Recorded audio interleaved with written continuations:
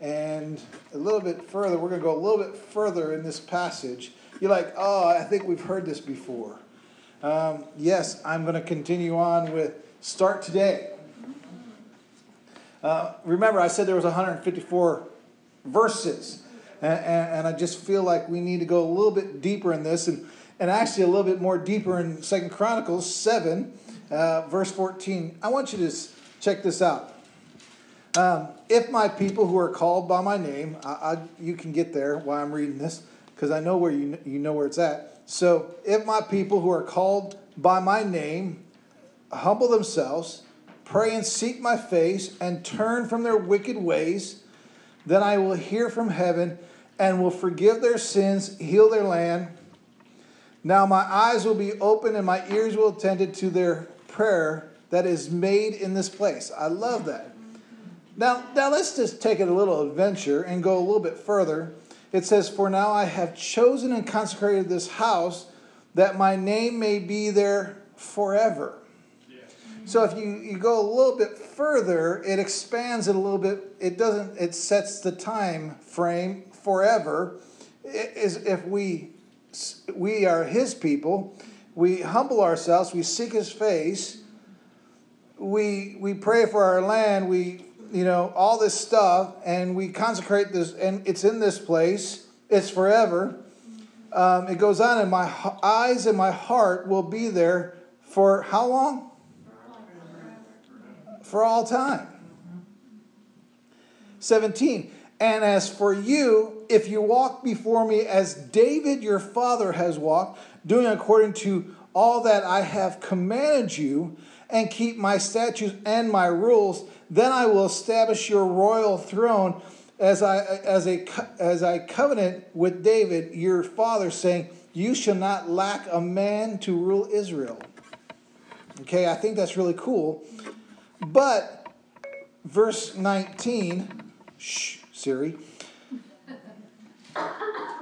But if you turn aside or forsake my statute and my commandments, then I, I have set before you and go and serve and, and, and I set before you and go and serve other gods and worship them. Then, verse 20, then I will pluck you up and my land, and I have given you, and this house that I have concentrated for my name, I will cast you out of my sight. I will make it a proverb and a byword among all people. So here's the deal. If we don't set course and be people of prayer and we stay according to his word and according to his what he's called us to be, and if we don't live according to his statutes, according to what he's commanded us to do, um, he could live, leave this place. It's kind of a warning. No, no, it's not kinda. It's a straight up warning for us. As I, as I was praying and as I believe that, we better be careful. Amen? Amen. All right. So if you, I think it's so important that we grasp that because if we're serious about prayer, we, we want to see healing and we want to see all this happen and we take prayer serious, we also have to look at the other side if we're going to believe for healing, we're going to believe for protection, we're going to believe for dedication, and we take prayer to the full extent, then we also need to remember that we have to follow the statutes of the Word of God. Yeah. The full Word of God, not what we choose and pick out and choose. The full Word, Genesis to Revelation. Come on. That will preach. Yes. See, too many times people go, Well, I don't like that part or I don't like this portion the full Word of God. Amen? Amen?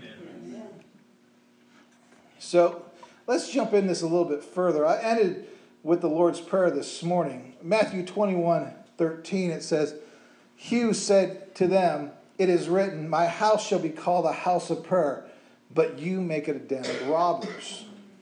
A house of prayer. I love that. And whatever you ask in prayer, you will receive it if you have faith.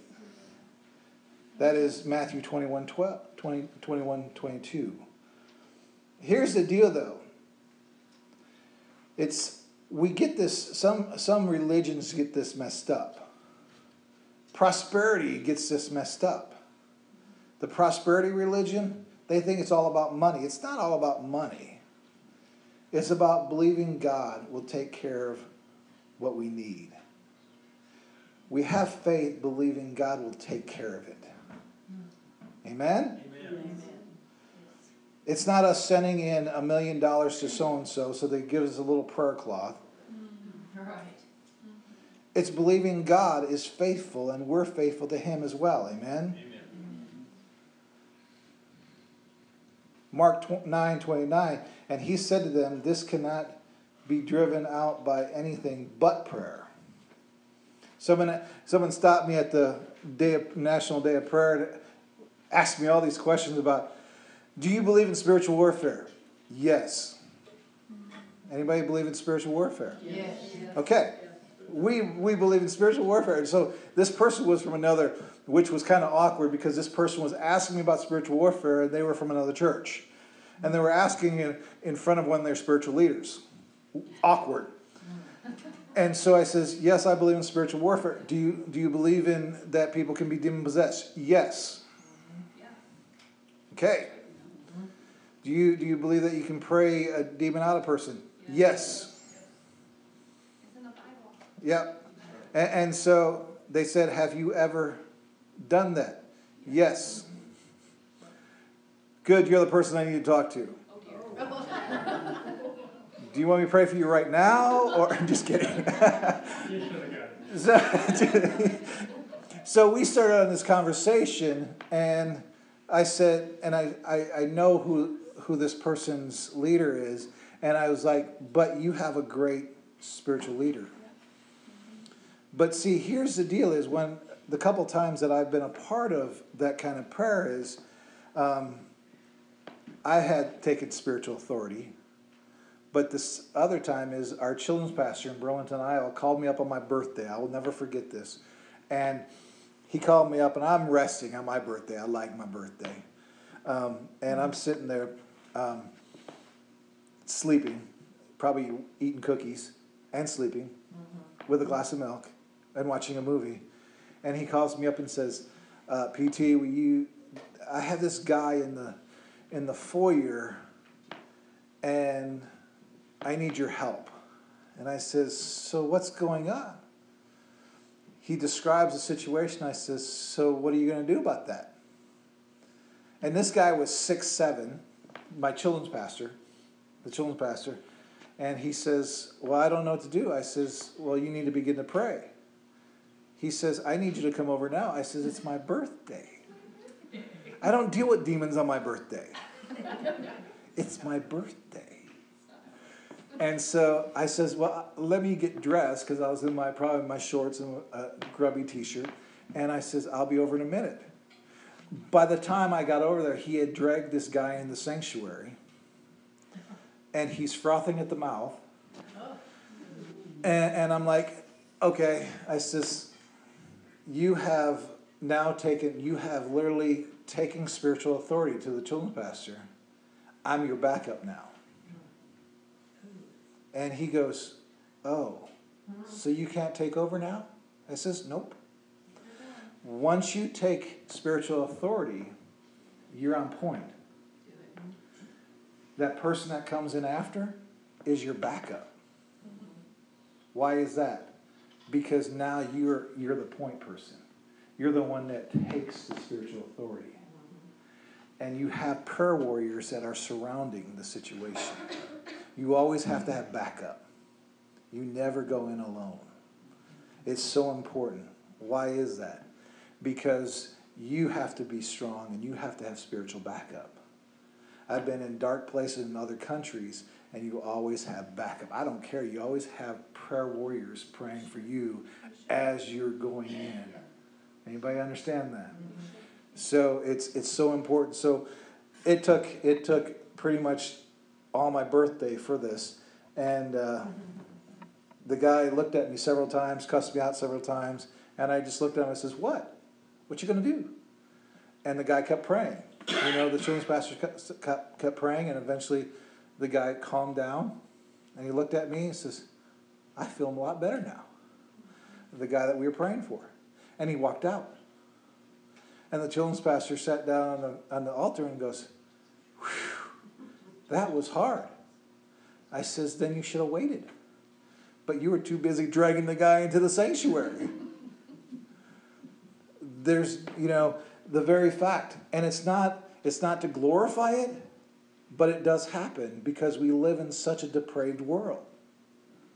Now, I'm not saying I'm a demon hunter. I'm saying that it happens and you have to be prepared. Because the very fact is um, that it nothing, you can't just say, hey, I'm looking for a demon, I'm going to drive it out. It has to be done in prayer, right? Yes. I've prayed over houses that people says, hey, will you come and pray over houses? I love doing that. I, have done it several times. People go, "Can you pray over houses?" Um, another children's pastor in Burlington, Iowa. This is another children's pastor. Is my pastor goes, "Hey, will you come pray over this house, this this trailer home? It, was in the, the decrepit part of the home. This is a funny, by the way." And, so we're sitting there, and we walk in this house, and he was uh, just a really scaredy cat children's pastor, and, and so I'm I love praying over homes, and we're in this dirty home and we're praying over and, and the people are going, we've heard stuff. And it's probably a raccoon or something, but it could be something else. And so I'm praying through the house and I notice behind a water heater, there's a hole in the floor that's big enough for a person. If you know anything about me, I jumped in that hole. And so as he came praying, because we pray over the whole house, mostly in the bathroom as well, and so I'm hiding behind the bathroom in the hole. And as he comes in praying, and, you, and, Pastor Dennis was praying, and as he came around, and I went, Whoa! and he went, and he ran out the door of that mobile home into the van, and he just sat there. And, and, I finished praying over the home, and, and the people weren't there. And I got in the van. I says, "Are you okay, Pastor Dennis?" He says, "Don't you ever do that again. And, and so you can't praying over houses, praying over stuff. Um, I'm not afraid of the enemy because of who lives in me. I don't have to be afraid. God has not given us a spirit of fear. Amen? Yes. So, praise the Lord. All right. Uh, Matthew 11, 24 says, Therefore I will tell you whatever you ask in prayer, believe it, then you will receive it, and it will be yours. Um, there's another prosperity thing. People take that and stretch it all over the place. Um,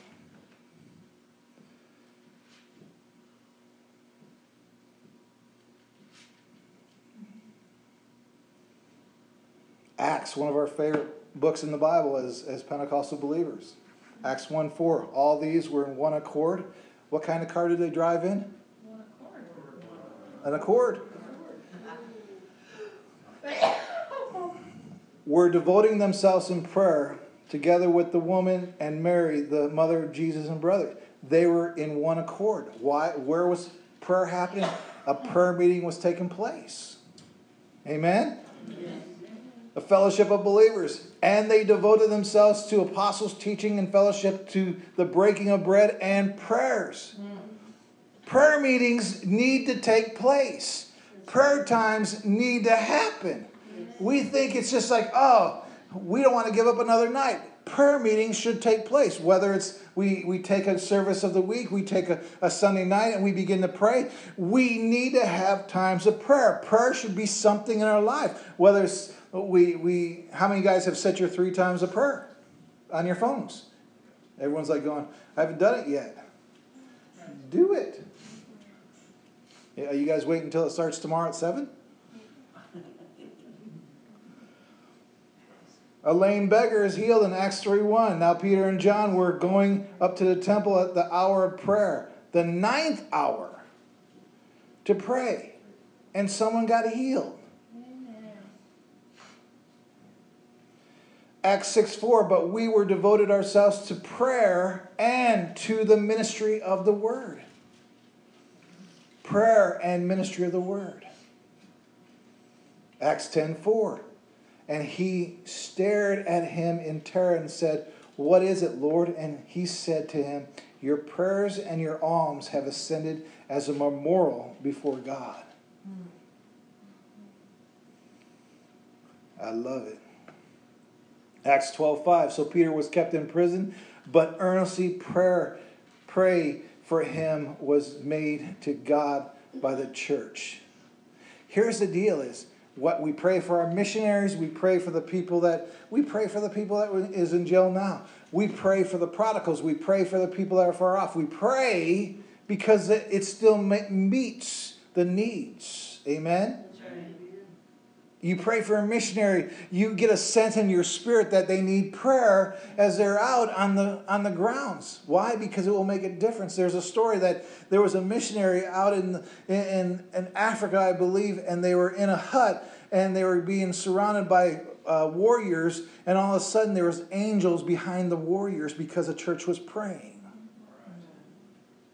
It's so important that we are sensitive to the spirit that God directs. If you feel that sense that there is a need in your heart and you feel a sense in your spirit that one of our missionaries that need and they need prayer covering, call everyone up and say, We need to pray for our missionaries now. Right. Right. Why do we need to call a prayer meeting? We can call a prayer meeting. Everyone to the church now, we need to pray for our missionary right now. Prayer is important. Hallelujah. Romans 1:10 always in my prayers asking that somehow by God's will I may now at last succeed in coming to you. Always ask God for God's will. Amen. Sometimes we try to do it in our own will. Always ask according to God's will. Romans 12 12, rejoice in hope, be patient in tribulation, be constant in prayer. Rejoice in hope. That's easy, right? Be patient in tribulation. Not so easy. Be constant in prayer.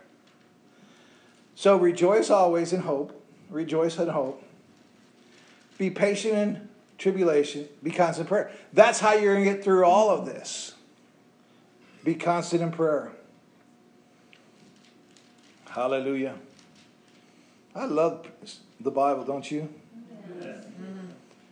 2 Corinthians 1:11 you must you all you also must help us by prayer so that ma- many will give thanks on our behalf for the blessing granted us through the prayers of many. Praying for one another is so key. Why did I start putting the prayer the three by five cards in the windows so that we can take prayer requests. It's so important to start using those.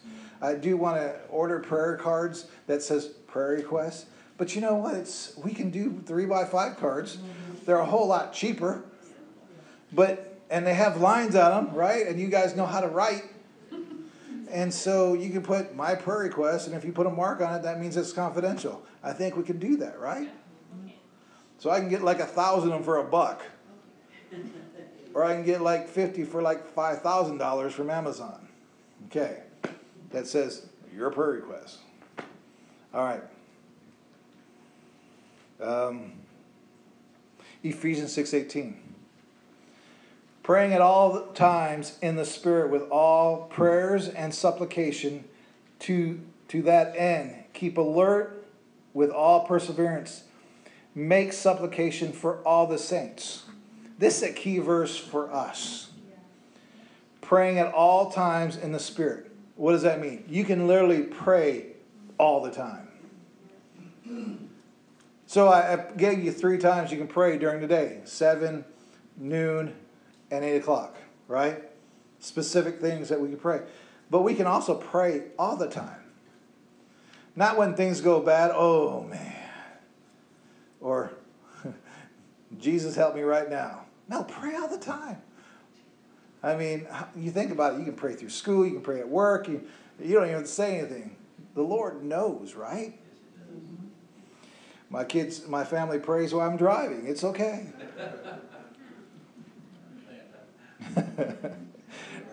to the to the end, keep alert with all perseverance. while you pray, walking past people in the store, pray for them. Pray for them, especially if they have little kids. Calm that child down. Because you know the, the mom's about ready to go crazy. You know, pray for them. Pray always. Philippians 1 4 says this Always in every prayer of mine, for you are all making my prayer with joy. Mm. Pray with joy. Have you ever think about somebody who sucked lemons and pray? God, you're awesome. Or you just had a bad day and you start praying like like crabby prayers. Ever prayed crabby prayers? Yes. Yeah. Man, how does that make you feel after you get through your crabby prayers? Better. I'm like crabby cakes. You know, I love getting up in the morning and I I pray, it gets me through and it gets me up and it gets me going, and all of a sudden, my joy, you know, joy in the morning, right? It gets you going. I love prayer. Philippians 4 6. Do not be anxious about anything, but everything by prayer and supplication with thanksgiving let your requests be made to be made known to God. Do not be anxious about anything. How difficult is that every one of us, right? We want it done right now. But in everything, prayer and supplication with thanksgiving. Pray for what you need, pray for your prayer requests, and then thank God for it. Whenever it happens, continue to thank God for it. God, I know this is going to happen. Thank you, God. I love prayer walking. I, I walk my prayer walk three miles, and I'll be like, "Thank you, Lord. Thank you for this day. I know it's going to be a good day. I don't know what the day is going to look like, but I'm going to thank God for it anyways. Right? Praise the Lord for it, because God is in control of our days. And if something bad happens that day, thank Him for it. What? Thank Him for it because there's a reason something happened, and praise Him for it anyways. And then pray for that situation and then thank Him for that. You're like, you just went to the wackadoodle side of the world. No. Pray without ceasing. Do not be anxious, but in everything, prayer and supplication with thanksgiving, let your requests be known to God. Pray. Amen? Amen. Amen. Hallelujah. If you don't get what I'm talking about today, I'm talking about prayer. We're talking about starting today. if you don't start praying really intensely by the time we get done here, I don't know what's going to happen. All right. 1 Timothy 2 1. First of all, then I urge that supplication, prayers, intercession, and thanksgiving be made for all people. For every single person. I mean, everybody. So, supplication, prayers, intercession, thanksgiving be made for all people. Everyone. How exciting is that? Yeah. That's like a bona fide, uh, or uh, uh, I can't even think the word I was thinking in my head, but it didn't come out, so don't worry about it. It's okay. It was it was a good word. It just stopped right in my brain. Hallelujah. Praise Jesus.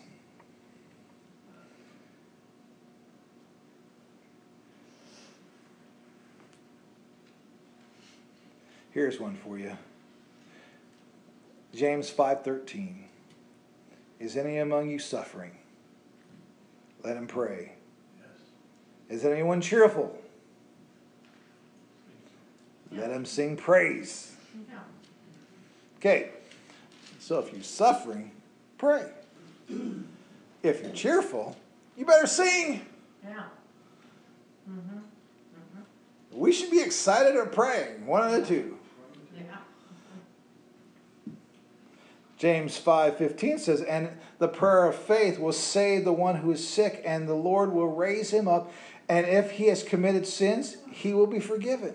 Mm-hmm. James 5:16 Therefore confess your sins to one another and pray for one another that you may be healed. The prayer of the righteous person has great power as it is working. That's a hard one. Confess your sins to one another. Pray for one another that you may be healed. We need to pray for one another. In, in, in our church, we lay hands on one another, not around their neck. Never mind. Anyways, there was a thought that stopped. Um, the very fact is praying for one another and, and confessing, asking forgiveness for one another, and, and, just really loving one another, united church, watching what God does, the healing that takes place, but also the healing and not only internally, uh, corporately, but also physically, what takes place. It happens. God is good. Hallelujah. Oh my goodness. God is so good. You guys almost went down to 154 verses. 1 Peter 4 7, the, the end of all things is at hand. Therefore, be self controlled, sober minded for the sake of your prayers. Mm-hmm. Be able to pray focused. And then there's several in Revelation that you can look through. But as you begin to think about prayer, as you begin to focus on prayer, prayer is just so important for the health of you, the health of our church, the health of even our country. Yes, that's right. We need to start today. And as I was sitting in, in district council and I was sitting and the Lord just kept speaking to me about just that, those two words, start today. It used to be uh, an old commercial that used to say, oh, I can do it tomorrow, tomorrow, tomorrow. And it says, why put off tomorrow what you can do today? Used, I think it used to be a Morton Salt commercial. I know. You guys don't remember those because you're not that old. I remember that. The very fact is, we need to be that church that is known to be a praying church. A church of prayer. A church that focuses on prayer. That when someone brings a prayer request, we don't hinder or hold back, we pray. We seek God's face. Whether it's a Tuesday night, we put it on our calendar. And I know I, I'm the worst of that to be here because always there's there's a meeting that I have to be at. I know, and and, and so I commend the, the two ladies that show up. But here's the deal: is purpose in your heart to pray. To pray. We need to be that church. Because I'll tell you what's going to happen. God's going to grow this church because of it. Because people who are healed, set free, delivered because of prayer, they're going to be drawn to the heartbeat of God because the heartbeat of God is a prayer. Why? Because Second Chronicles 7:14. This is the place. Amen. Amen. Let's pray. Lord, I thank you so much for tonight. I pray that, Lord, that you just continue to speak to us, that you continue to challenge us, and Lord, that we may be those people, those people that will humble themselves, seek your face, and pray. Lord, we thank you so much. I thank you for this church. I thank you for each person. I pray that you bless them as they're a blessing to me. And Lord, may we seek you with all our hearts, mind, and spirit. Yes. Lord, we love you. In your name, amen. amen.